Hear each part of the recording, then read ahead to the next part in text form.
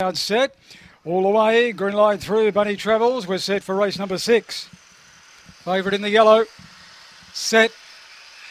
Racing now, clear last out with Select Phoenix, and there's Twisting Sue with that brilliant speed. Goes to the lead over Black JC and Sketchy Ellen. Four lengths away, then Port Sierra. Highly irregular. Select Phoenix is out deep. Husky Cowboy and Princess Mimi, the tail ender. Twisting Sue to the corner. Leads by a length. Sketchy Ellen, the second from Black JC in the straight. Twisting Sue in front. She's got a kick. Twisting Sue beats Sketchy Ellen and Black JC. Fourth home in the race. Give it to Select Phoenix from Highly Irregular. They were followed by Port Sierra. Husky Cowboy. Last in was Princess Mimi.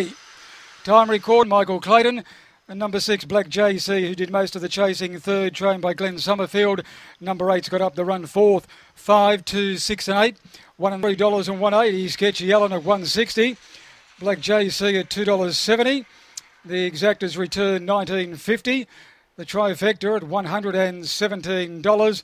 And the first four has returned three hundred and eighty dollars.